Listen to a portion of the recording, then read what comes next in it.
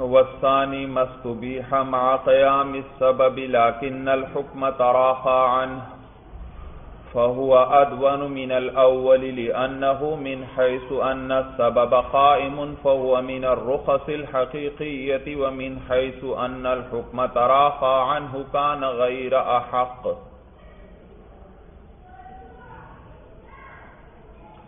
رخصت کے بارے میں بحث شروع کی تھی، گزشتہ سبق میں آپ نے پڑھا تھا کہ رخصت جو ہے وہ چار قسم پر ہے اور دو قسم جو ہیں وہ حقیقت میں سے ہیں اور دو مجاز میں سے دو قسم رخصت حقیقی ہے دو جگہ اور دو جگہ مجازن رخصت کا اطلاق ہوتا ہے اور پھر جو دو قسمیں جو ہیں حقیقت کی وہ ان میں سے ایک دوسری کے بنسبت زیادہ حقدار ہے بھائی۔ یعنی رخصت حقیقی ہونے میں ایک دوسری کے مقابلے میں زیادہ حقدار ہے اور زیادہ لائق ہے۔ اور وہ پہلی قسم ہم نے پڑھ لی تھی کہ جو زیادہ لائق ہے وہ جس کے ساتھ مباح والا معاملہ کیا جاتا ہے، باوجود اس کے کہ محرم اور حکم دونوں موجود ہوتے ہیں۔ یعنی دلیل اور حکم دونوں چیزیں موجود ہوتی ہیں، لیکن اس کے باوجود اس کے ساتھ مباح والا معاملہ کیا جاتا ہے۔ دوسری قسم آج آپ پڑھیں گے بھائی، کہتے ہیں وسانی مستوبی اور دوسری قسم رخصت کی وہ ہے جس کو مباح سمجھا جائے۔ اور یہاں یہ حقیقتا مباح ہے بھائی۔ پچھلی میں کیا تھا؟ اس کو مباح سمجھا جاتا تھا، مباح والا معاملہ کیا جاتا تھا، حقیقتا مباح نہیں بھائی۔ حقیقتا مباح نہیں بھائی، کیونکہ سبب بھی موجود اور حکم بھی موجود۔ جبکہ دوسری قسم، وہ حقیقتا جو ہے، وہ مباح ہو گئی بھائی۔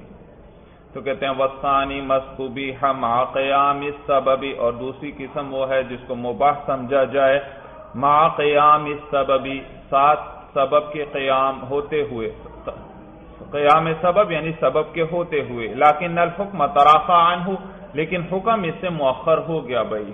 بھائی، پہلی قسم جو تھی، اس کے اندر دلیل یعنی محرم بھی موجود ہوتا تھا یعنی سبب۔ سبب بھی موجود ہوتا تھا۔ سبب سے کیا مراد؟ وہ دلیل محرم، حرام کرنے والی دلیل۔ اور اس کا حکم یعنی حرمت بھی موجود ہوتی تھی۔ جبکہ اس قسم کے اندر دلیل تو موجود ہے یعنی سبب تو موجود ہوگا، لیکن حکم کیا ہو جائے گا؟ حکم مؤخر ہو جائے گا، وہ موجود نہیں ہوگا بھائی۔ تو کہتے ہیں، فہو ادون من الاولی یہ پہلی قسم سے کم درجے کی ہے لِأَنَّهُ مِنْ حَيْثُ أَنَّ السَّبَبَ قَائِمٌ۔ اس لیے کیونکہ اس حیثیت کے، اس حیثیت سے کہ سبب تو قائم ہے، فہو من الرخص الحقیقیتی، یہ رخصت حقیقی میں سے ہے۔ ومن حيث ان الحكم تراخى عنه، كان غير احق لیکن اس حیثیت سے کہ حکم اس سے مؤخر ہو گیا تو زیادہ حقدار نہیں ہے بھائی۔ پہلی قسم میں کیا تھا؟ سبب بھی موجود ہوتا تھا یعنی محرم، اور حکم یعنی حرمت بھی موجود ہوتی تھی۔ لیکن اس کے باوجود شریعت کی طرف سے گنجائش آ جاتی تھی۔ مثلا کلمہ کفر زبان سے کہنے پر کسی کو مجبور کیا گیا۔ اب دلائل بھی موجود ہیں اس بات پر کہ کلمہ کفر زبان پر نہیں آنا چاہیے، عقلی بھی اور نقلی بھی۔ اور اس کی حرمت بھی موجود یہ کلمہ زبان سے کہنا حرام ہے۔ لیکن اس حالت اکراہ کے اندر رخصت آ گئی، گنجائش مل گئی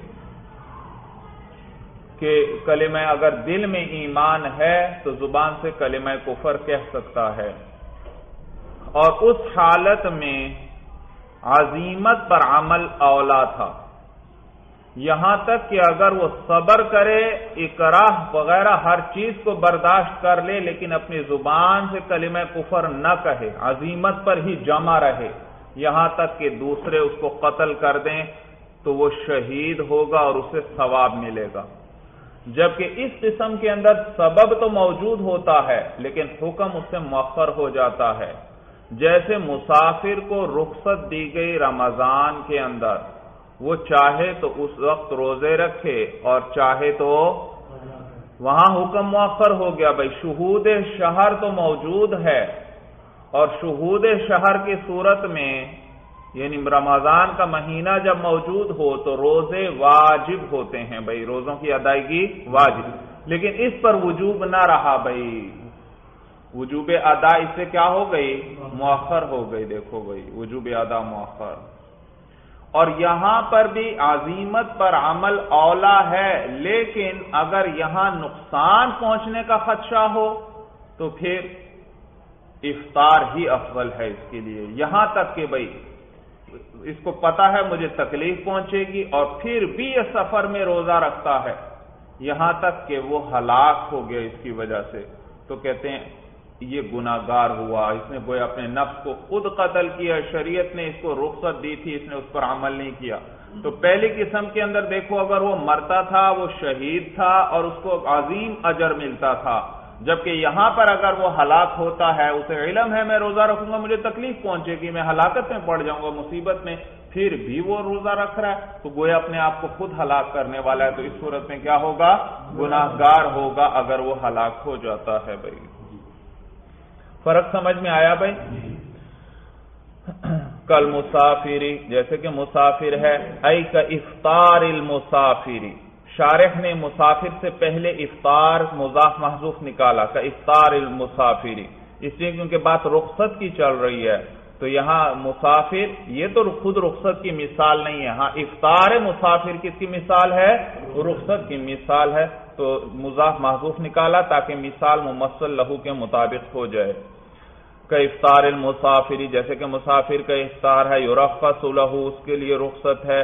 فعن سبب وہ شہود الشہری موجود ان کی حق ہی کیونکہ سبب جو ہے وہ اس مہینے کی موجودگی جو ہے، مہینے کی کا حاضر ہونا موجود ہے اس کے حق میں لاکن نہ حکم ہو وہ وجوب ادا اس سومی تراخ ہو لیکن اس کا حکم جو ہے وہ وجوب ادا اسوم ادا سوم کا واجب ہونا تراخ عنہ، یہ اس سے مؤخر ہو گیا۔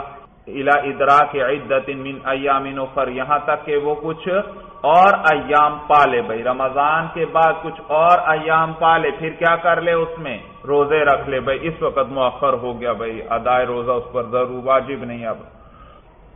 تو کہتے ہیں بھائی ترا حکم اس سے مؤخر ہو گیا الا ادرا کی عدت من ایام اخر، چند اور ایام کے پا لینے تک، یہاں تک یہ چند اور ایام پالے یعنی رمضان کے بعد کچھ اور ایام پالے تو اس میں کیا کر لے؟ ان روزوں کی قضا کر لے بھائی۔ وہ حکم ہو ان الخب اولا، اور حکم اس قسم کا یہ ہے کہ عظیمت کو لے لینا یہ اولا ہے یعنی عظیمت پر عمل کرنا یہ اولا ہے۔ لکمالی سببی ہی سببی پر لکیر ہے بھائی، یہ بھی متن کا حصہ ہے بھائی سببی ہی لکمالی سببی بوجہ سبب کے کامل ہونے کے۔ بھئی یہ دلیل ذکر کر رہے ہیں۔ عظیمت پر عمل اولا کیوں ہے؟ لکمالی سببی پہلی دلیل کیا ذکر کی؟ کہ سبب کامل ہے۔ بھئی وہ کیا؟ کہتے ہیں وہ شہود الشہری۔ وہ اس مہینے کی ہاں، حاضر ہونا موجود ہونا ہے۔ حتی کان الصوم فی السفر افضل من الافطار عندنا۔ یہاں تک کہ سفر میں روزہ رکھنا یہ افضل ہے افطار کے سے ہمارے نزدیک۔ وعند شافی رحم اللہ افطار افضل۔ اور امام شافی رحم اللہ کے نزدیک افطار افضل ہے۔ امام شافی رحم اللہ کے نزدیک افطار افضل ہے۔ لیکن یہ درست نہیں مولانا، حق یہ ہے کہ امام شافی رحم اللہ کا بھی یہی مذہب ہے کہ سفر کے اندر روزہ افضل ہے۔ ہاں اگر تکلیف پہنچنے کا خطرہ ہو کہ مجھے تکلیف ہوگی، بہت زیادہ مشقت ہوگی روزے کی وجہ سے، پھر ان کے نزدیک افطار بہتر ہے۔ اور اس صورت میں تو ہمارے نزدیک بھی پھر افطار بہتر ہے۔ تو امام شافی رحم اللہ کا بھی آئین ہی وہی مذہب ہے جو ہمارا ہے بھائی۔ وعند شافی رحم اللہ علیہ افطار و افضل امام شافی رحم اللہ کے نزدیک افطار افضل ہے۔ لقول علیہ السلام، حضور علیہ السلام کے اس قول کی وجہ سے اولائک العصات اولائک العصات عصات جمع ہے عاصی کی بھئی۔ عاصی نافرمان، گناہگار بھئی۔ بھئی، احادیث مبارکہ میں آتا ہے کہ حضور صلی اللہ علیہ وسلم فتح مکہ کے سال چلے، فتح مکہ کے لیے تمام صحابہ ہمراہ ہیں بھائی تو ایک مقام پر پہنچے بھائی اور قدیم زمانے میں تو سفر کی اور بھی زیادہ مشقت تھی اور پھر خصوصاً عرب کا صحرائی ریگستانی علاقہ، وہاں تو شدید گرمی پڑتی تھی۔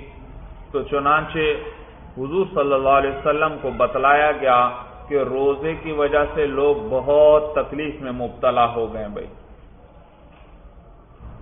تو حضور صلی اللہ علیہ وسلم کو جب یہ اطلاع ملی تو آپ نے پانی منگوایا بھائی۔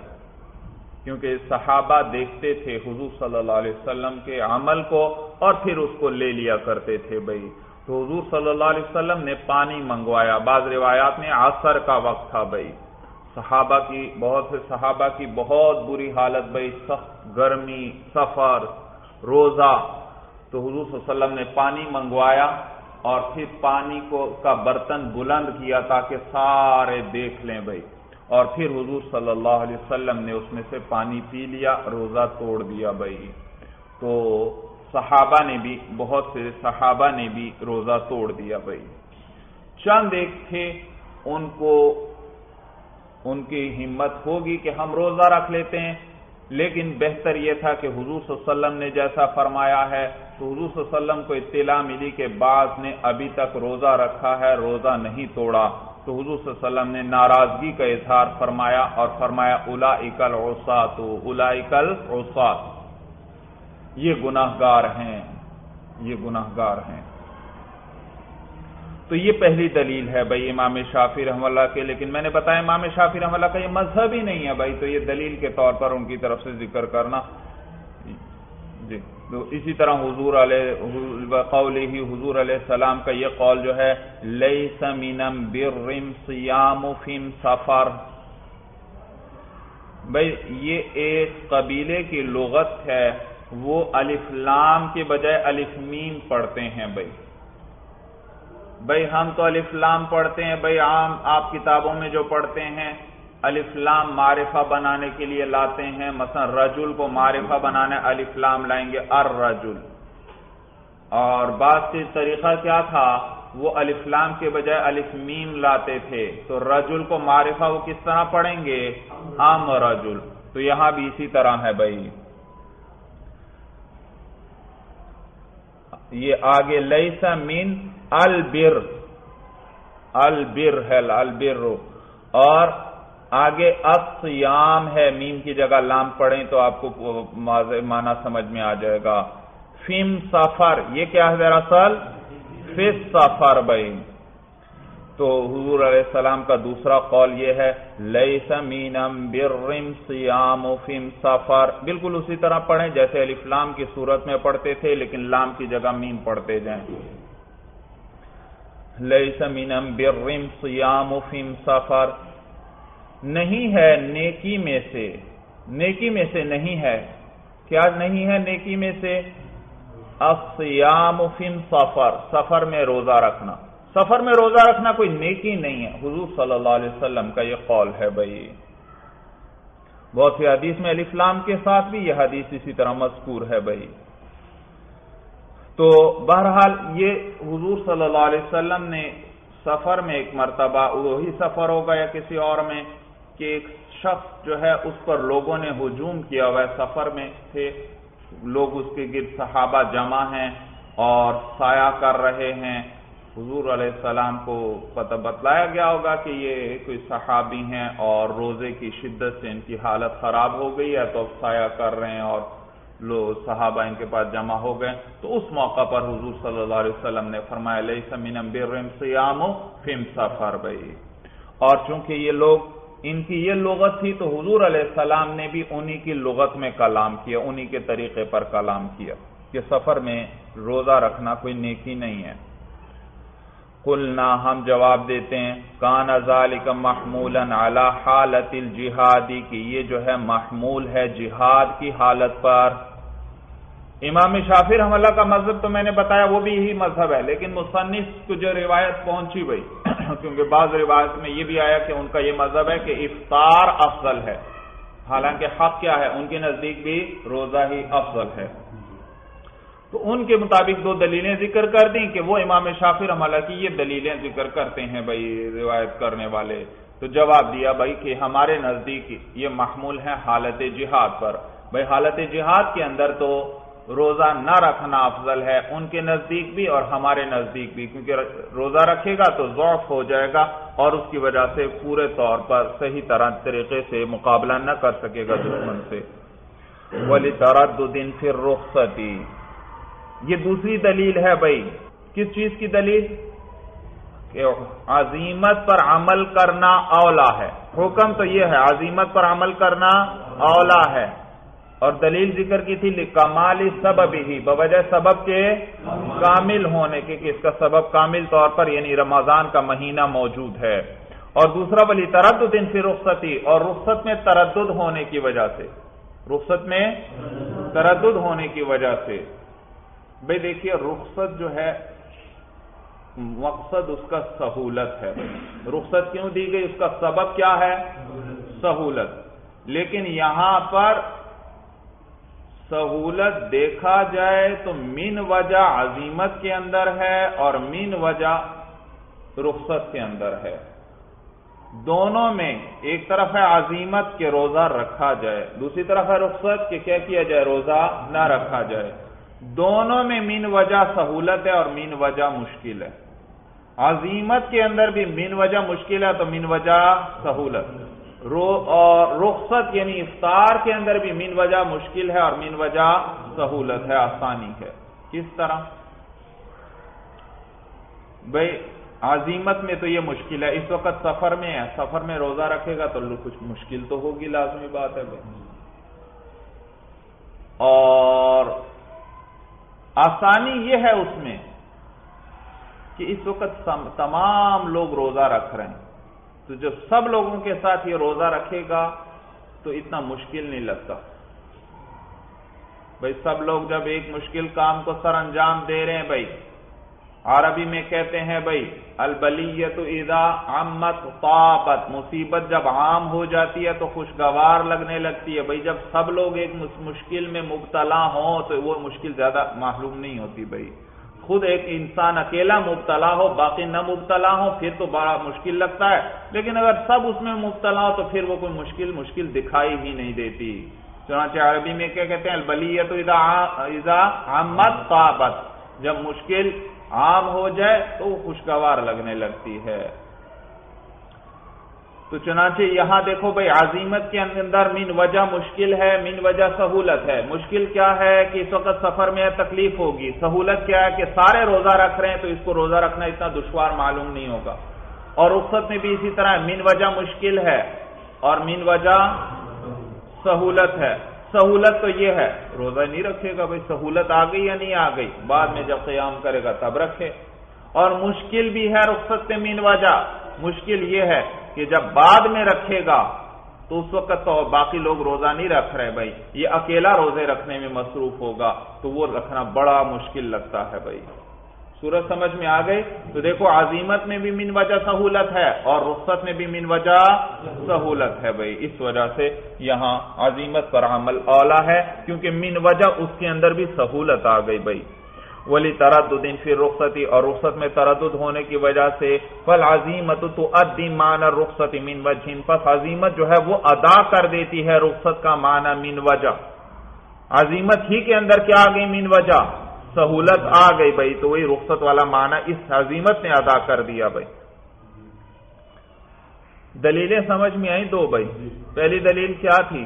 عظیمت، ہم نے کہا عظیمت پر عمل کرنا اولا ہے، یہاں پر بھی روزہ ہی رکھنا چاہیے اس کو۔ پہلی دلیل کیا؟ لکمال سبب ہی، کیونکہ ان کا سبب کامل طور پر موجود ہے۔ یعنی جس سے وجوب آ رہا ہے یعنی رمضان کا مہینہ۔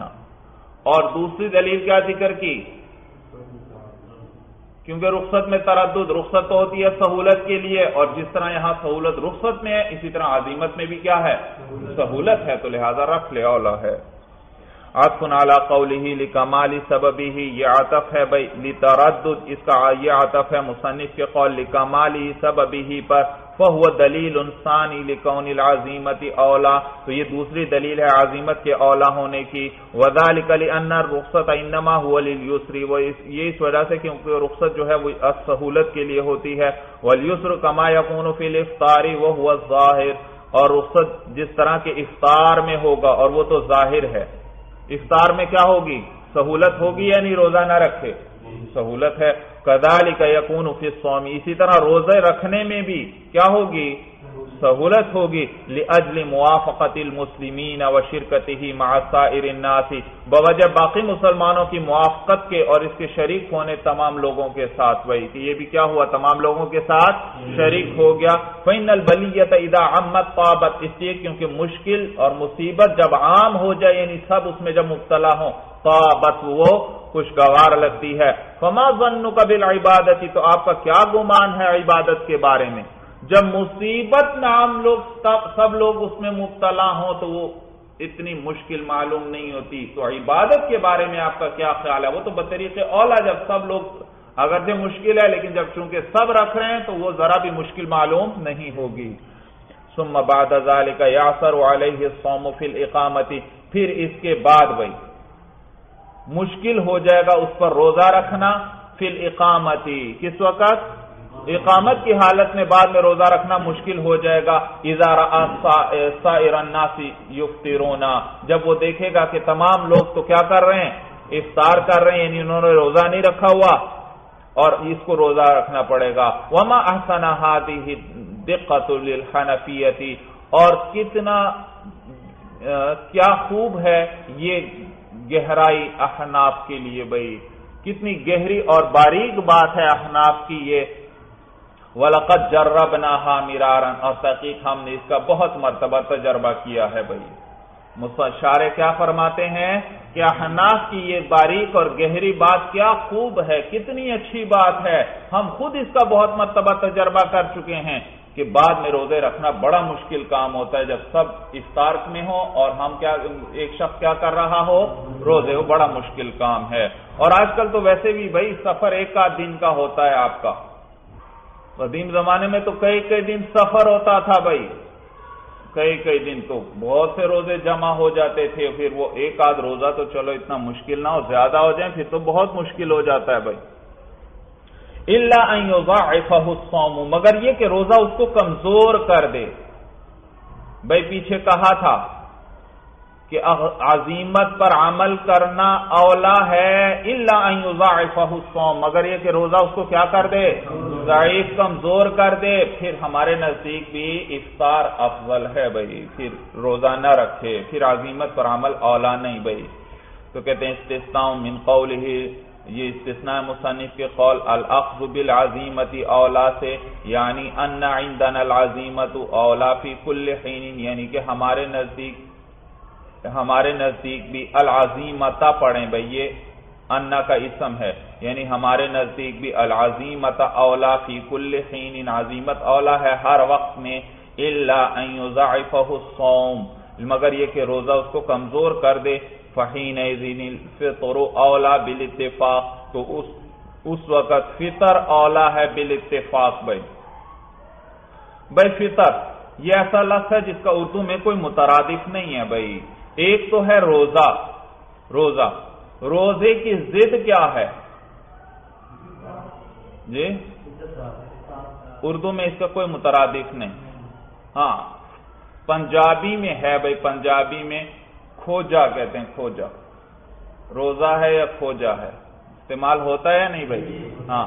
تو فطر کا اردو میں کوئی مترادف۔ وہ حالت جس میں روزہ نہ ہو، اس کو فطر کہتے ہیں۔ ایک تو روزہ ہے اور جو اس کی ضد ہے اسے کیا کہیں گے؟ فطر کہیں گے۔ فہین الفطر اولا بال اتفاق تو اس وقت فطر یعنی کھوجا جو ہے وہ اولا ہے بال اتفاق کما اضاکان ماحول جہاد او مشاغل اخر جیسے کہ جس وقت اس کے ساتھ جہاد ہو یا دوسرے مشغلے ہوں، جہاد وغیرہ یا اس جیسے کوئی مشکل کام، دینی کام کے لیے نکلا ہے، تو اس صورت میں مشکل پیش آئے گی جہاد کے اندر روزے کی وجہ سے، تو روزہ نہ رکھے۔ فائن فام اب ماتا یمو تو آسمن پس اگر اس نے روزہ رکھا اور مر گیا یمو تو آسمن تو وہ مرے گا۔ اس حال میں کہ گناگار ہوگا۔ تو گناگار ہو کر مرے گا۔ وَأَمَّا أَتَمُّ نَوْعَيِ الْمَجَازِ فَمَا وُزِعَ عَنَّا مِنَ الْإِصْرِ وَالْإِغْلَالِ۔ اور باقی زیادہ تام ہے جو مجاز کی دو قسموں میں سے نوعین المجاز نون اضافت سے گر گیا۔ مجاز کی دو انواع میں سے جو زیادہ تام ہے بھائی حقیقت کے اعتبار سے رخصت دو قسم پر تھی۔ ایک دو، رخصت حقیقی اور ایک رخصت مجازی۔ حقیقت کے اعتبار سے دو قسمیں گزر گئیں، جن میں سے ایک زیادہ لائق تھی، دوسرے کے مقابلے میں کہ اس کو حقیقت کہا جائے۔ اسی طرح مجاز کے اعتبار سے بھی دو قسمیں ہیں بھائی رخصت کی، لیکن ان میں سے ایک دوسرے کے مقابلے میں زیادہ تام ہے بھائی۔ تو جو تام ہے، پہلے اس کو ذکر کریں گے بھائی۔ تو کہتے ہیں وہ اما اتم نو مجازی اور باقی مجاز کی دو قسموں میں سے جو زیادہ تام ہے یعنی مجاز ہونے میں جو زیادہ تام ہے، فما وہ ہے وہ وہ جو ہم سے دور کر دیے گئے، ہم سے ہٹا دیے گئے، ہم سے ختم کر دیے گئے۔ مین بیان ہے ماں کا کیا چیز جو ہم سے ختم کر دی گئی؟ مین الاسر والاغلال۔ اسر کہتے ہیں بوجھ کو، بھائی بوجھ کو، سختی کو۔ ول اغلال بھائی، اغلال جمع ہے غلن کی۔ غلن وہ گلے میں پہنائے جانے والا توق بھائی۔ یا اسی طرح بیڑی جو قیدی کو پہنائی جاتی ہے یا قیدی کے گلے میں جو توق ڈالا جاتا ہے، اس کو کیا کہتے ہیں؟ غلن کہتے ہیں بھائی۔ وہ جو ہم سے دور کر دیے گئے یعنی کہ بوجھ اور توق بوجھ اور توق بھائی مراد یہ ہے، گزشتہ امتوں میں بعض احکام بڑے سخت تھے بھائی۔ بڑی مشقت اور مشکل والے احکام تھے۔ لیکن اس امت سے اللہ تعالی نے اس امت پر خصوصی فضل فرمایا، کیونکہ نبی کریم صلی اللہ علیہ وسلم کی امت ہے جو خاتم النبیین ہیں، جن کے لیے تمام کائنات کو تخلیق کیا گیا۔ تو ان کی اکرام کرتے ہوئے، تکریم کرتے ہوئے سخت احکامات کو اس امت سے اٹھا لیا گیا بھائی۔ یہ ہیں رخصت بھائی۔ ان کے لیے وہ حکم تھے، ہمارے لیے یہ حکم نہیں۔ تو رخصت آ گئی یا نہیں آ گئی؟ کہتے ہیں، بھائی، کہنا تو اس کو نسخ کہنا چاہیے تھا، لیکن مجازن اس کو کیا کہہ دیتے ہیں؟ رخصت۔ سمجھ میں آیا بھائی؟ آگے تفصیل آ رہی ہے بھائی۔ تفصیل آ رہی ہے۔ کون کون سے مشکل احکام تھے؟ وہ سارے وہی بیان کریں گے آگے بھائی۔ سقط عنا یعنی ہم سے ساقط ہو گئے۔ وہ جو بوجھ اور مشکل کام تھے ہم سے ساقط ہو گئے۔ ولم یش، ولم یشرع فی حقنا ما کان فی الشرائع السابقتی۔ اور مشروع نہیں ہوئے ہمارے حق میں وہ جو تھے سابقہ شریعتوں کے اندر۔ من المحن الشاقتی والاعمال الثقیلتی محن جمع ہے محنتن کی آزمائش آزمائش۔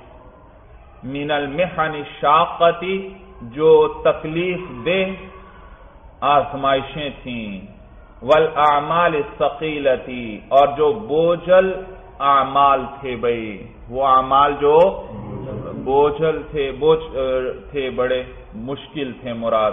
والاسر والاسر هو شدت۔ اور اسر جو ہے، یہ شدت ہے۔ میں نے بتلایا بھائی اسر کا کیا معنی ہے؟ بوجھ اور سختی بھائی وہ شدت وہ سختی ہے۔ والاغلال جمع غل اور اغلال غلن کی غلن کی جمع ہے۔ المواسیق اللازمت کالغل یعنی وہ مواسیق جمع ہے میثاق کی۔ اور یہ عہد کو کہتے ہیں۔ عہد بھائی معاہدہ، قول و قرار۔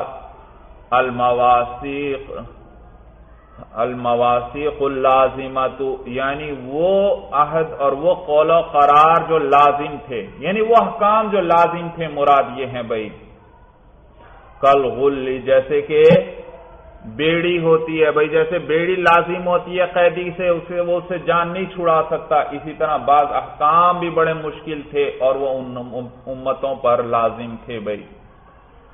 والاظہر اور زیادہ ظاہر یہ ہے کہ انہما جمیعا، کہ یہ دونوں جو ہیں کنایت عن الامور الشاقتی، یہ دونوں کنایا ہیں مشکل امور سے بھائی وَإِنْ خَصَّ الْمُفَصِّرُونَ الْبَعْضَ بِالْإِسْرِ وَالْبَعْضَ بِالْأَغْلَالِ اگرچہ تخصاص کیا ہے مفسرین نے بعض کو اسر کے ساتھ اور بعض کو اغلال کے ساتھ۔ بھئی متن میں کیا آیا؟ فَمَا وُزِعَ عَنَّا مِنَ الْإِسْرِ وَالْأَغْلَالِ۔ وہ جو ہم سے دور کر دیے گئے یعنی کہ بوجھ اور اور توق اور مراد اس سے کیا ہے وہ مشکل احکام مراد ہیں۔ پھر مفسرین نے تخصیص کی، بعض ان میں سے احکام تھے تھے دونوں ہی مشکل۔ انہوں نے کہا ان میں سے یہ یہ جو ہیں، یہ اسر میں داخل ہیں۔ اور یہ یہ جو قسمیں ہیں، یہ اغلال میں داخل ہیں۔ شارع فرماتے نہیں بھائی، یہ اگرچہ مفسرین نے تفصیص کی ہے کہ اس کا یہ یہ اسر میں ہے، یہ اغلال میں ہے، لیکن زیادہ ظاہر یہی ہے کہ دونوں سے مراد مشکل امور ہیں، مشکل احکام جو گزشتہ امتوں میں تھے اور ہم پر وہ حکم نہیں ہے بھائی۔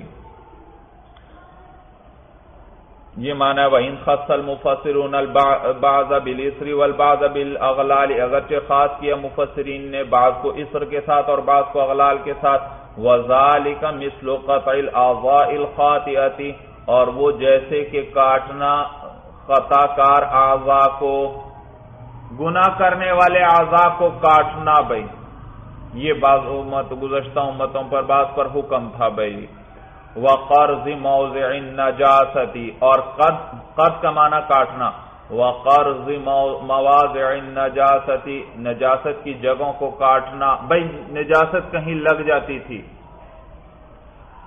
پہلا حکم کیا بتایا؟ گناہ کرنے والے اعضاء کو کاٹنا، زبان سے جھوٹ بولا، زبان کاٹنی پڑے گی، ہاتھ سے چوری کی، ہاتھ کاٹنا پڑے گا۔ سمجھ میں آیا بھائی؟ تو جس عضو کے ذریعے گناہ کیا جاتا اس کو کاٹنا پڑتا، اسی طرح نجاست کی جگہوں کو کاٹنا پڑتا، بھائی نجاست کپڑے پر لگ گئی تو دھونے سے پاک نہیں ہوگا، وہ کپڑے کا حصہ ہی کاٹ کر الگ کرنا پڑے گا بھائی، یا بدن پر لگ گئی۔ وہ قتل نفس بھی توبتی اور نفس کو قتل کرنا توبہ کے لیے، توبہ کی وجہ سے۔ بھائی توبہ کے لیے صورت کیا ہوتی تھی کہ اپنے آپ کو قتل کرے، ختم کرے، پھر ہی اس کی توبہ ہوتی تھی بھائی۔ وہ آدمی جواز فی غیر المسجدی اور نماز کا جائز نہ ہونا مسجد کے علاوہ میں۔ بھئی آپ کے لیے تو سہولت ہے بھئی جہاں وقت آتا ہے نماز کا، مسجد ہو یا نہ ہو بھئی نماز ادا کر سکتے ہیں۔ جبکہ ان کے لیے مسجد کے علاوہ دوسری جگہ پر، کسی جگہ پر بھی نماز ادا کرنے کی اجازت نہیں تھی بھئی وہ آدمی تطہیر بھی تیممی اور پاک نہ ہونا تیمم کے ذریعے۔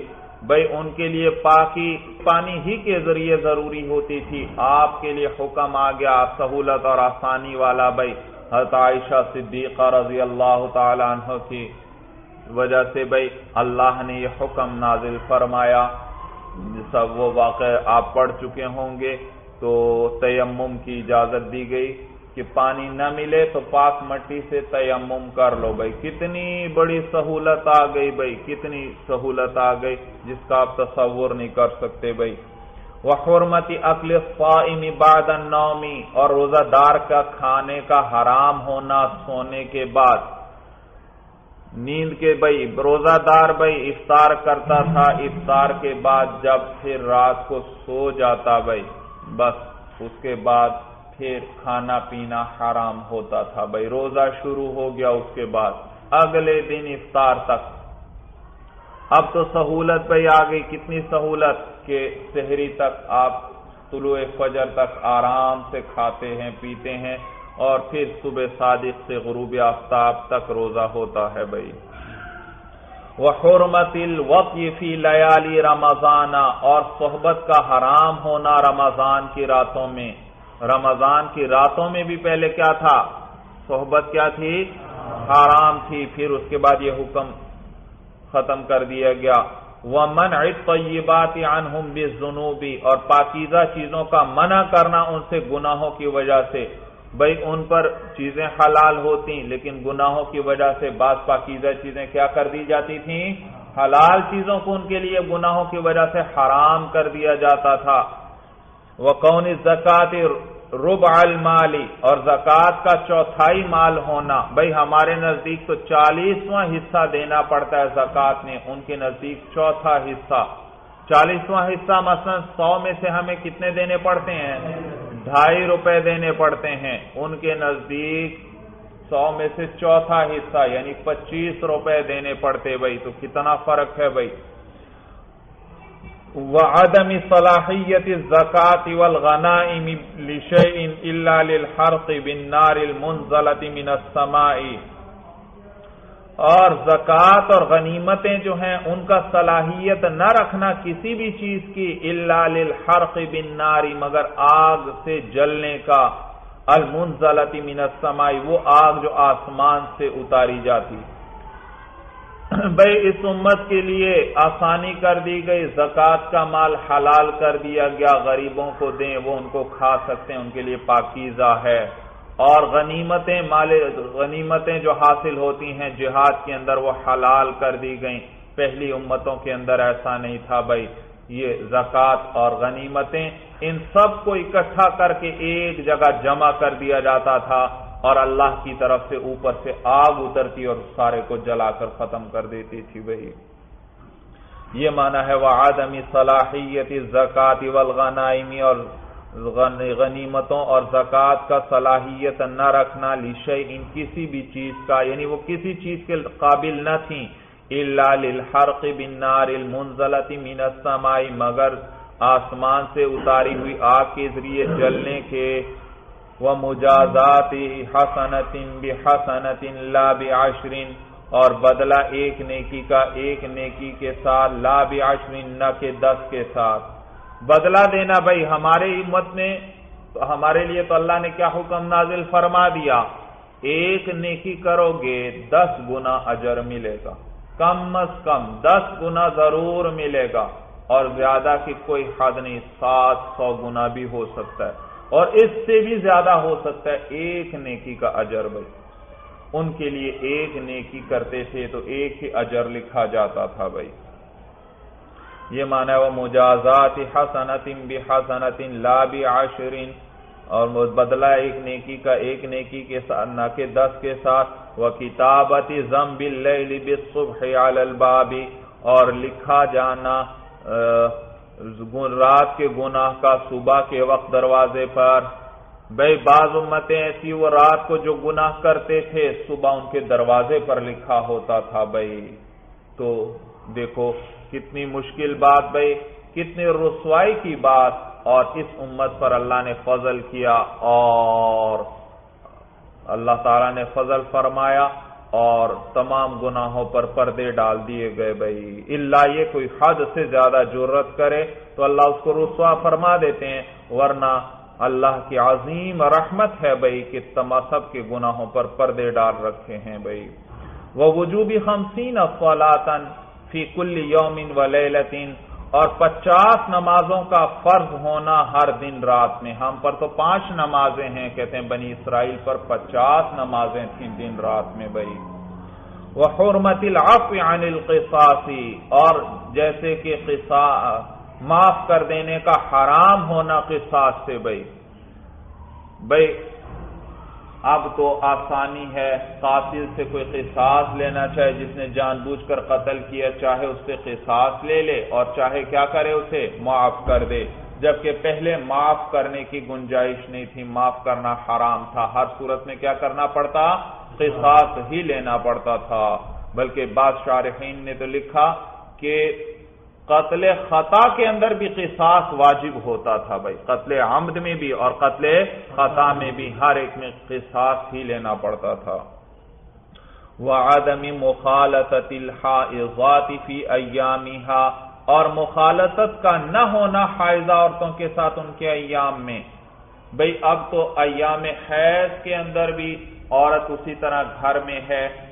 ساتھ ہے سب کے، لیکن پہلے جو تھی اس طرح رہنے کی اجازت نہیں تھی۔ ایام حیض میں کیا حکم تھا کہ عورت جدا ہو جائے، الگ رہے سب سے بھائی وہ تحریمی شہومی والعروق فی الحمی شہوم بھائی چربیاں، عروق رگیں بھائی، یہ خون کی رگیں جو بدن میں ہوتی ہیں۔ وہ تحریم شہومی والعروق فی چربیاں اور جو رگیں ہیں گوشت کے اندر، ان کا حرام کرنا بھائی۔ بھائی، یہ حرام تھی۔ بھائی، اب تو گوشت کے اندر جو چربی یا رگیں وغیرہ ہیں، ان کا حکم اسی طرح گوشت کی طرح حلال ہے ان کا کھانا۔ لیکن پہلے جو تھی وہ حرام تھی بھائی، حرام۔ وہ تحریم سبتی اور ہفتے کے دن کے حرام ہونا بھائی حرام کرنا۔ ہفتے کے دن یہاں تک کہ آپ پڑھ چکے بھائی شکار کھیلنا بھی بنی اسرائیل کے لیے حرام تھا اور پھر ان میں سے وہ چند لوگوں نے ہیلے کے ذریعے شکار کیا تھا اور پھر ان کی صورتیں مسخ کر دی گئیں بھائی وہ فرضیت فلاطی فی اور نماز کا فرض ہونا رات کے اندر بھائی نماز کا رات کے اندر فرض ہونا بھائی۔ جی تحجد کا بھائی، یہ تحجد فرض تھے بعض امتوں پر۔ وہ امسال ازالی کا کثیر اور اس کی مثالیں بہت زیادہ ہیں۔ فروخ کل عن امتینا تخفیف و تقریمہ بس یہ سب ہم سے اٹھا لیے گئے۔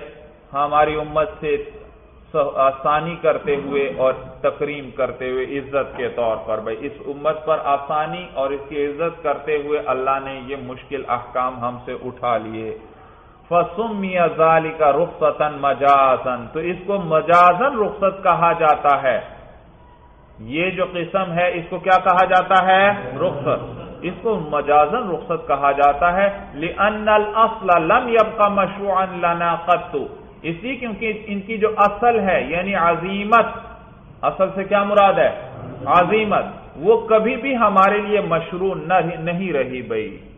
یہ حکم کبھی ہماری امت کے لیے تھا ہی نہیں ان میں سے کہ پہلے آیا ہو اور پھر بعد میں کیا کر دیا گیا ہو۔ منسوخ کر دیا گیا۔ یہ حکام ہماری امت کے تھے ہی نہیں۔ تو ان کو مجازن رخصت کہا جاتا ہے۔ ولو عملنا به احیانا اسم ناوعوتی بنا اگر ہم ان پر کبھی عمل کر لیں تو گناہ گار ہوں گے اور ہم پر اعتاب ہوگا، ناراضگی ہوگی۔ وکان القیاس فی ذالک اور قیاس اس قسم کے اندر یہ تھا ان یسمى نسخا۔ کس کو کیا کہنا چاہیے؟ نسخ کہنا چاہیے۔ وانما سمیناہ رخصتا مجازا محضا۔ اور اس کو ہم نے رخصت کہا، محض مجاز کے طور پر بھئی مجاز محض کے طور پر۔ بات سمجھ میں آئی بھائی؟ یہ تو ہمارے حق میں کبھی مشروع ہوئے ہی نہیں۔ تو ان کو رخصت مجازن کہا جا رہا ہے۔ مشروع ہوتے پھر اس کے بعد رخصت آتی تو اس کو کہتے کیا کہتے؟ پہلے یہ حکم ہوتا ہمارے لیے پھر سہولت آتی تو ہم اس کو رخصت کہتے۔ لیکن یہ تو شروع سے تھا ہی نہیں ہماری امت میں ان میں سے کوئی بھی حکم نہیں تھا۔ تو ان کو مجازن رخصت کہا جاتا ہے۔ والنوع الرابع ما سقط عن العباد مع كونه مشروعا في الجملة، اور چوتھی قسم وہ جو ہم سے وہ جو ساقط ہو گئی، عن العباد بندوں سے مع كونه مشروعا في الجملة، باوجود اس کے مشروع ہونے کے في الجملة مجموع اعتبار سے۔ چوتھی قسم وہ جو بندوں سے ساقط ہو گئی، لیکن اس کے باوجود مجموعی اعتبار سے کہیں نہ کہیں وہ مشروع ہے بھائی۔ بھائی دیکھیے، جیسے مسافر سفر کے اندر اس وہ پوری نماز نہیں پڑھتا۔ بلکہ چار کے بجائے کتنی پڑے گا؟ دو۔ یہ جو قصر ہے، یہ یہ رخصت ہے بھائی، رخصت۔ تو یہاں اس وقت رخصت کا حکم بھائی، عظیمت باقی ہی نہیں رہی۔ اس وقت پوری وہ پڑھ ہی نہیں سکتا۔ تو رخصت حقیقتا یہ تو دراصل عظیمت ہے بھائی۔ کیا ہے؟ یہ بات پہلے بھی گزر چکی ہے گزشتہ سبق میں بھائی کیونکہ اسی نے بھائی کس کا کس کی جگہ لے لی؟ عظیمت۔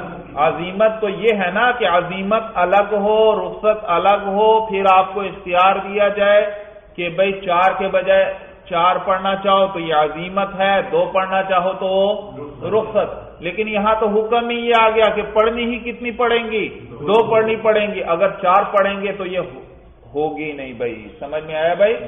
چار پڑھ ہی نہیں سکتے بھائی۔ تو یہ تو عظیمت ہو چکی، لیکن اس کو مجازن کیا کہہ دیا گیا؟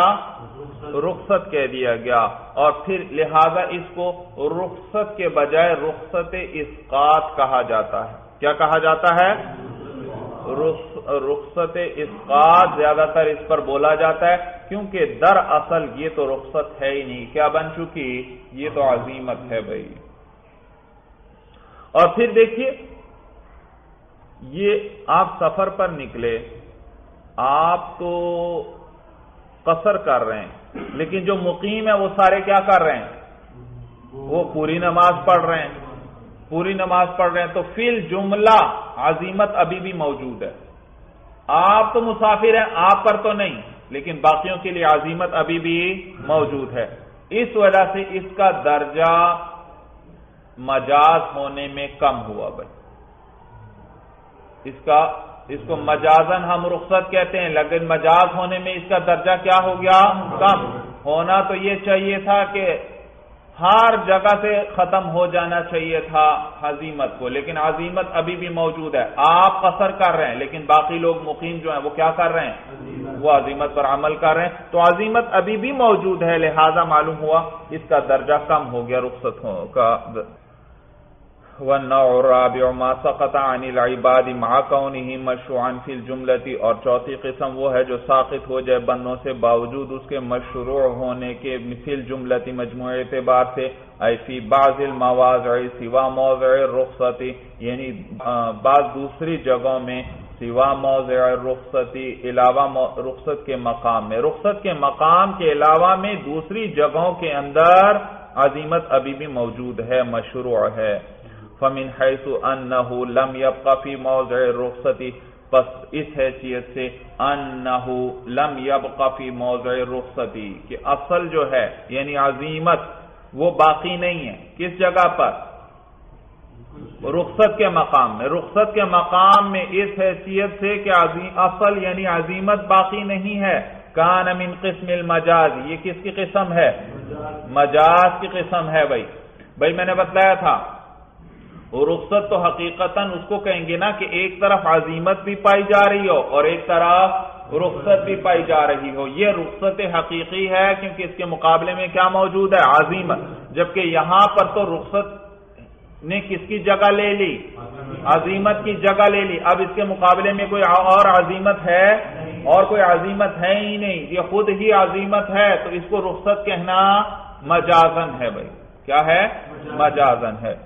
یہ مانا ہے کہ من حیث انہو لم یبقى فی موضع رخصتی کان من قسم المجازی اس حیثیت سے کہ عظیمت رخصت کے مقام میں باقی ہی نہ رہی، یہ مجاز کی قسم ہے۔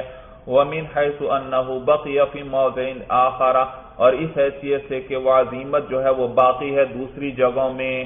کان انقص فی المجازیتی تو یہ مجاز ہونے میں کم درجے کا ہوا۔ فیقون شبی ہم بالقسم الاولی تو یہ مشابہ ہوا پہلی قسم کے۔ کس کے مشابہ ہوا؟ پہلے قسم کے مشابہ ہو گیا۔ کا قصر فی سفری جیسے کہ نماز کا قصر جو ہے سفر کے اندر۔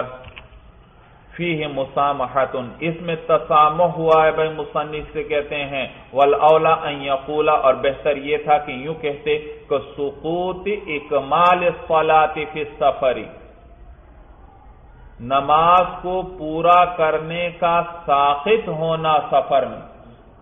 نماز میں سفر میں پوری نہیں کریں گے، بلکہ پورا کرنا ساخت ہو گیا۔ دو رکعت پڑھیں گے۔ لیوافق قرینہ ہو تاکہ یہ موافق ہو جائے اپنے ساتھی کے بھائی۔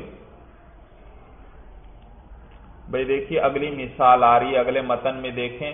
سقوط حرمت الخمر۔ دیکھو، سقوط کے ساتھ ذکر کیا اس کو۔ سقوط حرمت الخمر۔ تو لہذا یہ جو پچھلے متن میں آئے کا قصر سولاد اس کو بھی سقوط کے ساتھ ذکر کرنا چاہیے تھا۔ اور کس طرح کہنا چاہیے تھا؟ کا سقوط اکمال سولاد اکمال سولاد کا ثابت ہونا۔ تو تاکہ اپنے ساتھی کے بھی موافق ہو جاتا۔ ساتھی کون ہے؟ اگلی مثال، تاکہ دونوں ایک دوسرے جیسے ہو جاتے۔ وہی سابق اسلح اور تاکہ اپنی اصل کے بھی مطابق ہو جاتا بھائی۔ کس طرح اصل؟ پیچھے تعریف دیکھیے بھائی وہ نو رابع ما سقطا عن العبادی تعریف کس کے ساتھ کی؟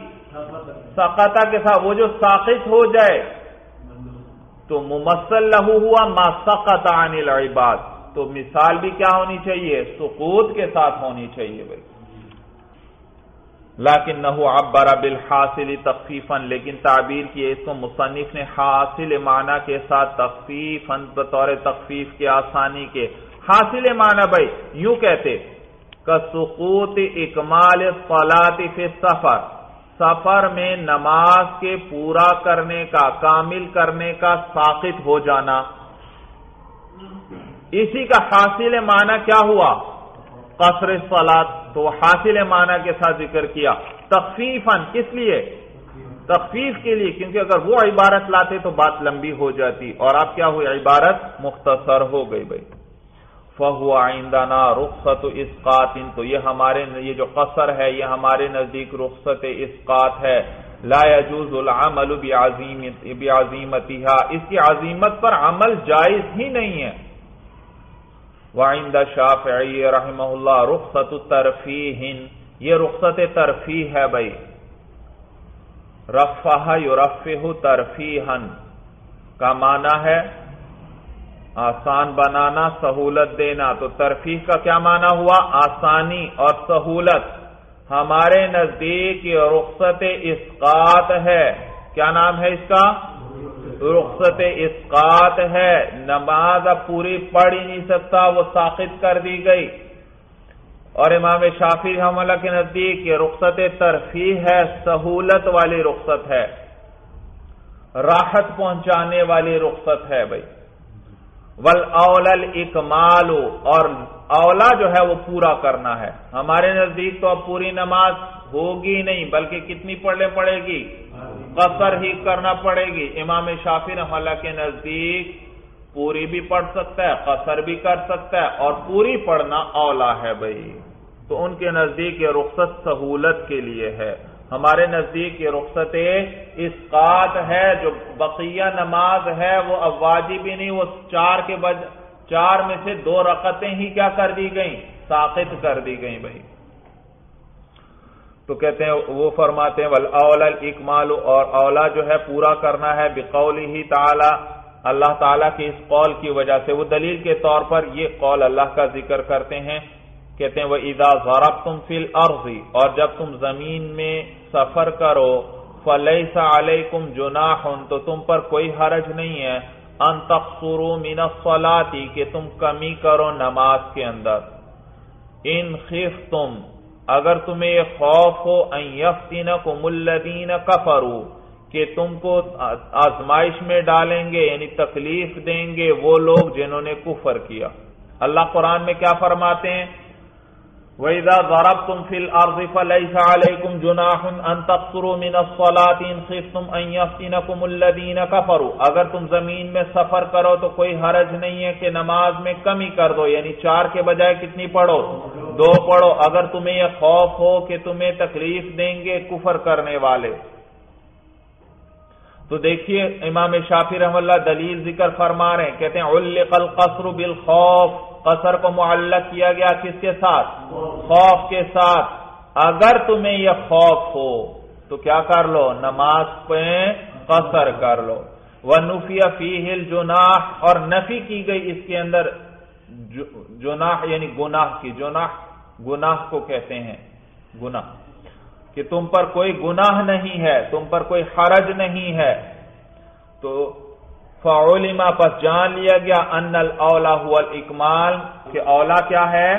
پورا کرنا ہے بھائی، پورا کرنا۔ بھائی، اللہ نے کیا ذکر فرمایا؟ ان کی دلیل کیا ہوئی؟ اللہ فرما رہے ہیں، اگر تم زمین میں سفر کرو تو تم پر کوئی گناہ نہیں ہے کہ تم نماز میں کمی کرو۔ مانو نماز میں کمی کر دو تو کوئی گنا نہیں۔ کمی کر دو تو کوئی گنا نہیں کوئی حرج نہیں۔ معلوم پوری بھی پڑھ سکتے ہیں۔ اور دوسرا کیا ذکر کیا؟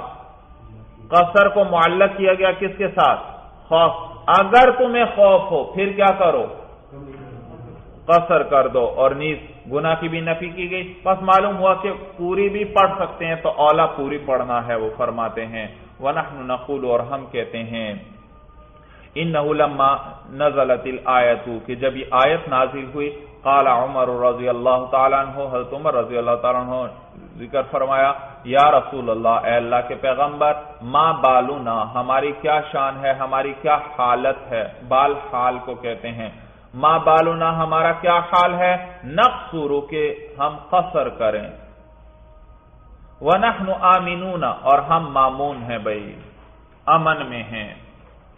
بھائی، روایات میں آتا ہے، احادیث مبارکہ میں کہ ایک صحابی رسول حضرت یعلا ابن امیہ رضی اللہ تعالیٰ عنہ، حضرت عمر رضی اللہ تعالیٰ عنہ کے پاس آئے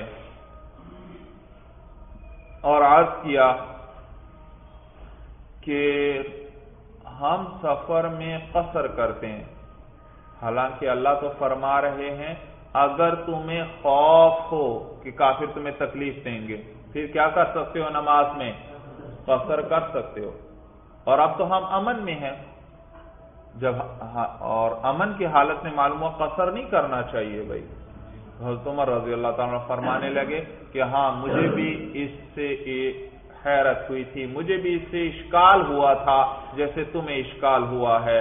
میں نے حضور صلی اللہ علیہ وسلم سے پوچھا کہ اللہ کے پیغمبر، ہم امن میں ہیں، اب تو کفار کا خوف نہیں، کیا اب بھی ہم قصر کریں گے؟ تو حضور صلی اللہ علیہ وسلم نے فرمایا کہ ہاں یہ صدقہ ہے جو اللہ نے تمہیں عطا کیا ہے، تو اس صدقے کو قبول کر لو۔ سمجھ میں آیا بھائی؟ روایت سمجھ میں آ گئی؟ تو کہتے ہیں حضرت عمر رضی اللہ تعالیٰ یا رسول اللہ، ما بالنا نقصر کہ ہماری کیا حالت ہے کہ ہم قصر کریں ونحن آمینون اور ہم امن میں ہیں، محفوظ ہیں۔ فقال علیہ الصلاة والسلام هذه صدقة تصدق اللہ تعالی بها علیکم، کہ یہ صدقہ ہے جو عطا فرمایا ہے اللہ تعالی نے تم کو۔ فقبلوا صدقته تو تم قبول کر لو اللہ کے صدقے کو۔ سماہ صدقتا، حضور صلی اللہ علیہ وسلم نے اس کو صدقہ قرار دیا، صدقہ فرمایا والصدقہ بما لا يحتمل التملیک اسقاط محضن اور صدقہ ایسی چیز کے ساتھ جو تملیغ کا احتمال نہ رکھے، وہ اسقاط محض ہے۔ بھئی دیکھیے، صدقے میں تو کیا کیا جاتا ہے؟ کسی کو کسی چیز کا مالک بنایا جاتا ہے۔ آپ غریب محتاج کو پیسے دیتے ہیں، اس کو اس کا مالک بنا دیتے ہیں۔ لیکن یہاں کسی چیز کا مالک بنایا جا رہا ہے تو کہتے ہیں صدقہ کرنا ایسی چیز کا جو تملیغ کا استعمال نہ رکھے، جہاں کسی کو مالک نہیں بنایا جا سکتا۔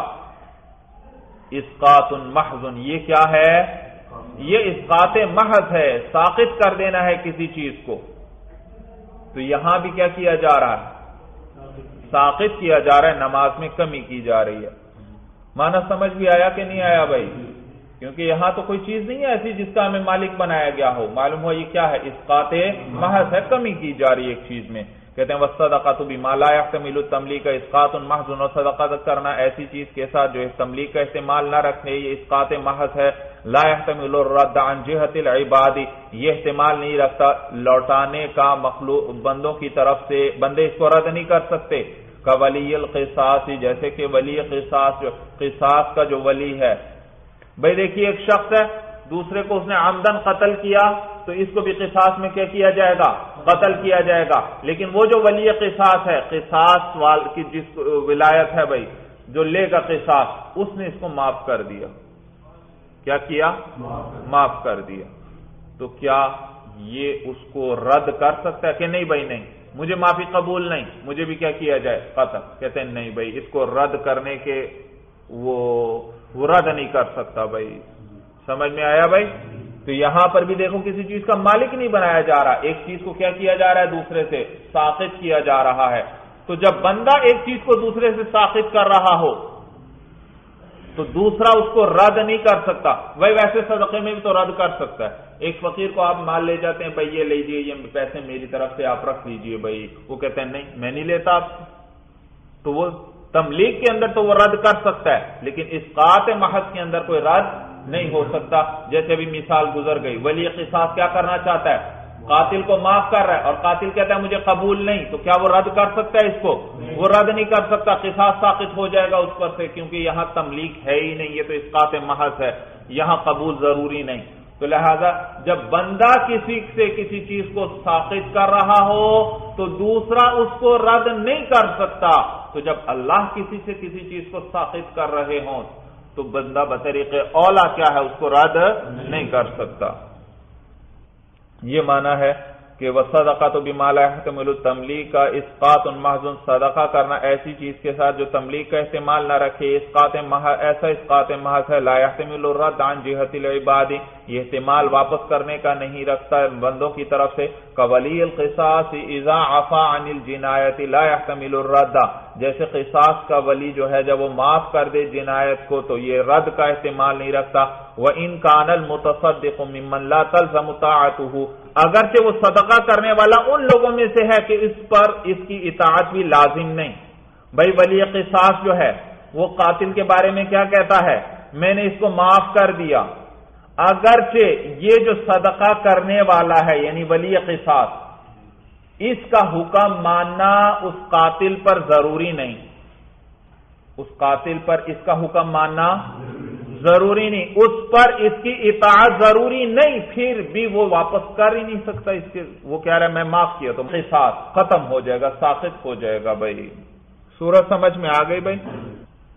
وہ انکان المتصدق ممن لا تلزم طاعته، اگرچہ صدقہ کرنے والا ان لوگوں میں سے ہو کہ لازم نہ ہو اس پر اس کی اطاعت، فممن تلزم طاعته وهو الله تعالی اولا بان لا يرد بس اس ذات کی طرف سے صدقہ جو جس کی اطاعت لازم ہو بھائی اور وہ اللہ تعالی ہے اولا، وہ زیادہ لائق ہے بھی۔ اللہ یوردا کہ اس کو رد نہ کیا جائے بھائی اس کو رد نہ کیا جائے۔ تو یہاں صدقے کو ہر حال میں قبول کرنا ہی پڑے گا، کیونکہ یہ رد کا استعمال ہی نہیں رکھتا، تو قصر ہی پڑھنا پڑے گی، چار نہیں پڑھ سکتا بھائی بھی اللہ یوردا ہے کہ اللہ یورادہ ہے آپ کی کتابوں میں؟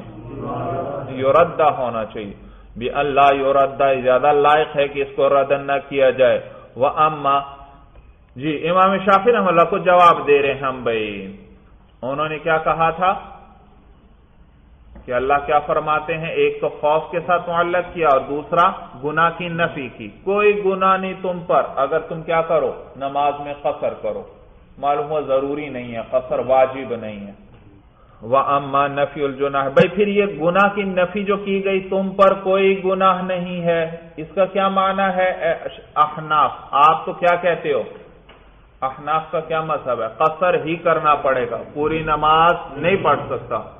تو اللہ تو فرما رہے ہیں، تم پر کوئی گناہ نہیں ہے۔ معلوم ہو، اس سے تو یہی پتا چل رہا ہے کہ پوری پڑھ سکتا ہے۔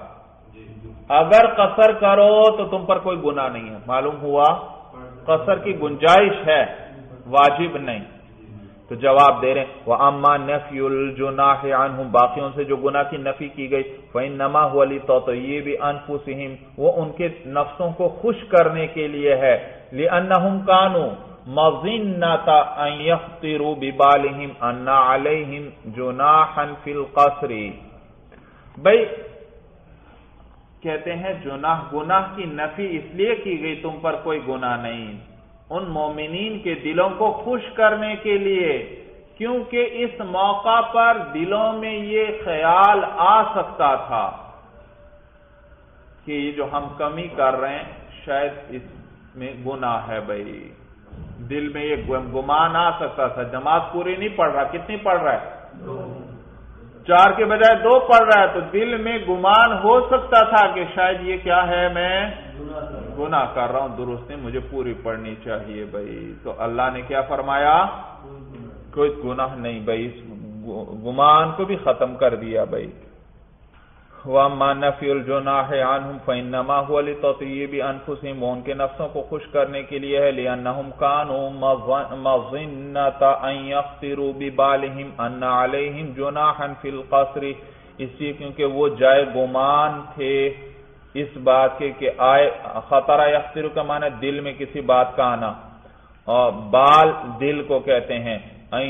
روبی بالہم یہ وہ جائے گمان تھے کہ ان کے دل میں یہ بات آئے کہ ان علیہم جناحن فی القصر کہ ان پر گناہ ہے قصر میں۔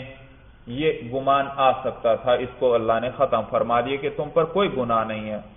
وہ بھی علما اور اسے یہ معلوم ہوا کہ ان قید الخوف ایزن اتفاقی لا موقوفا علیہ القصر. اس سے یہ بھی معلوم معلوم ہو گیا کہ خوف کی جو قید لگائی گئی یہ بھی اتفاقی ہے اور قصر اس پر موقوف نہیں ہے. ان خف تم اگر تمہیں خوف ہو، یہ اتفاقی قید ہے احتراضی نہیں ہے بھائی، اس پر قصر موقوف نہیں ہے بھائی. اچھا بھائی، مسئلے کا خلاصہ یہ ہوا کہ ہمارے نزدیک جو ہے یہ جو قصر سولاد ہے سفر کے دوران، نہ چار کے بجائے کتنی رکعتیں پڑھی جاتی ہیں، دو رکعتیں، یہ ہمارے نزدیک رخصت اسقاط ہے اور یہاں عظیمت پر عمل کرنا ہی جائز نہیں ہے۔ جبکہ امام شافی رحم اللہ فرماتے ہیں یہ رخصت ترفی ہے، سہولت کے لیے، آسانی کے لیے یہ رخصت ہے اور بہتر ہے کہ پورا پڑھا جائے نماز کو۔ بھائی، دو کے بجائے چار۔ لیکن اگر دو بھی پڑھ لے تو کوئی حرج نہیں کہتے ہیں۔ اور وہ کہتے ہیں، دیکھیے، قرآن میں اللہ فرماتے ہیں کہ وَإِذَا ضَرَبْتُمْ فِي الْأَرْضِ فَلَيْسَ عَلَيْكُمْ جُنَاحٌ أَن تَقْصُرُوا مِنَ الصَّلَاةِ إِن خِفْتُمْ أَن يَفْتِنَكُمُ الَّذِينَ كَفَرُوا۔ کہ جب تم سفر کرو زمین میں، تو تم پر کوئی حرج نہیں ہے، کوئی گناہ نہیں ہے کہ تم قصر کرو نماز کے اندر، اگر تمہیں خوف ہو کہ تکلیف دیں گے تمہیں کفر کرنے والے۔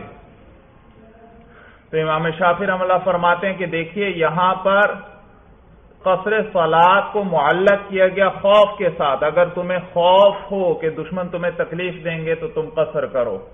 اور نیز گناہ کی نفی کی گئی کہ کوئی حرج نہیں ہے تو اگر کیا کر لو، نماز میں قصر کر لو۔ اس میں کوئی گناہ نہیں۔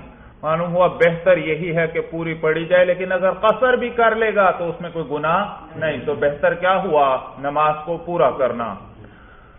ہم کہتے ہیں کہ جب یہ آیت نازل ہوئی تھی تو حضرت عمر رضی اللہ تعالیٰ عنہ نے حضور صلی اللہ علیہ وسلم کی خدمت میں حاضر ہو کر پوچھا کہ جب اب تو ہم امن میں ہیں، محفوظ ہیں، تو کیا اب بھی ہم قصر کریں؟ آیت میں تو اللہ فرما رہے ہیں کہ اگر تمہیں خوف ہو دشمنوں کا، کفار کا۔ تو حضور صلی اللہ علیہ وسلم جواب میں فرمانے لگے کہ یہ صدقہ ہے جو اللہ نے تمہیں عطا فرمایا ہے پس اس صدقے کو کیا کر لو؟ اللہ کے صدقے کو تم قبول کر لو۔ تو حضور صلی اللہ علیہ وسلم نے اس کو صدقہ فرمایا اور صدقہ ایسی چیز جو تملیغ کا احتمال نہ رکھے جس میں مالک بنانا نہیں ہے۔ تو یہ صدقہ دراصل کیا ہے؟ یہ دراصل اسقاط ہوتا ہے بھائی۔ کیا ہوتا ہے؟ اسقاط۔ ہوتا ہے اور اس کو رد نہیں کیا جا سکتا۔ جیسے مقتول کے اولیاء اگر قاتل کو قصاص معاف کر دیں، تو یہ اسقاط محض ہے دیکھو، اور اس کو وہ رد نہیں کر سکتا بھائی۔ عام صدقے کو تو رد کر سکتا ہے اگر کسی چیز کا مالک بنایا جا رہا ہے، لیکن یہ چونکہ اسقاط ہے، لہذا اس کو وہ رد نہیں کیا جا سکتا۔ تو جب ایس عام لوگوں کے اس قسم کے صدقے کو رد نہیں کیا جا سکتا تو اللہ تعالیٰ جس کی اطاعت لازم ہے بطریق اولا اس کے صدقے کو رد نہیں کیا جا سکتا۔ اور نیز یہ جو آپ نے کہا کہ دیکھو اللہ فرما رہے ہیں تم پر کوئی حرج نہیں ہے، گناہ نہیں ہے اگر تم قصر کر لو۔ اس کا یہ معنی نہیں کہ پوری بھی پڑھ سکتے ہو، بلکہ یہ تو اللہ ان کے مومنین کے دلوں کو خوش کرنے کے لیے فرما رہے ہیں۔ کیونکہ اس مقام پر مومنین کے دلوں میں یہ گمان آ سکتا تھا کہ جو ہم قصر کر رہے ہیں، شاید یہ اس میں حرج ہے، گناہ ہے بھائی، ہم کمی کر رہے ہیں۔ تو اللہ نے فرمایا کہ تم پر کوئی حرج نہیں ہے بھائی۔ اس قصر کے اندر تم پر کوئی حرج نہیں ہے بھائی۔ اور نیز، یہ جو حدیث میں آ گیا کہ یہ صدقہ ہے، اس سے یہ بھی پتا چل گیا کہ یہ جو قید آئی تھی آیت کے اندر کہ اگر تمہیں خوف ہو کہ دشمن تمہیں تکلیف دیں گے، کفار تمہیں تکلیف دیں گے۔ یہ بھی قید اتفاقی ہے۔ کیا ہے؟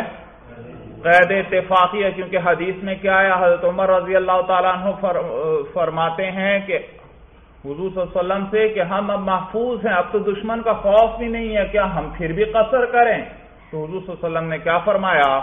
یہ حضور اللہ کی طرف سے صدقہ ہے، اللہ کے صدقے کو قبول کر لو۔ دیکھو، معلوم ہو یہ قید بھی اتفاقی ہے بھائی، اتفاقی بھائی۔ احتراضی قید نہیں ہے بھائی۔ چلیے، بس کریں، بس۔ المرام۔ اللہ عالم حقیقت الکلام۔